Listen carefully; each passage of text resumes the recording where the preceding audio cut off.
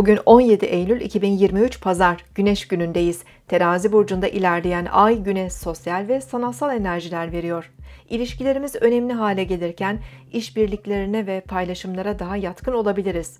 Karşımızdaki kişilerin, eşimizin beklentileri günlük tercihlerimizde de belirleyici olabilir. Uyum, denge, huzur, estetik alanında daha duyarlı olabiliriz. Aslan burcundaki Venüs gün genelinde Boğa burcundaki Jüpiter'le dik açı yapacak. Kişisel ilişkilerde gerekse toplumsal alanlarda daha tutkulu ve abartılı isteklere neden olabilir. Sahip olma dürtümüzün artması fazla para harcatabilir. Bugün iştahımızı kontrol etmekte de zorlanabiliriz.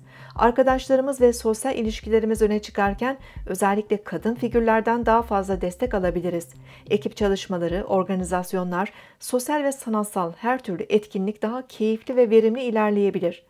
Başak Burcu'ndaki Güneş ile Boğa Burcu'ndaki Uranüs arasında devam eden üçgen açı, özgür ve bireysel davranışlarımızı desteklerken kişisel alanda daha yaratıcı ve yenilikçi davranabiliriz. Günlük yaşamın rutinlerini değiştirip heyecan verecek sürpriz gelişmeler olabilir.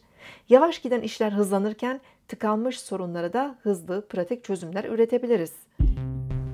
Siz de şimdi kanalımıza abone olun, yorumlar bölümüne sorularınızı yazın, sürprizlerimizden haberdar olun.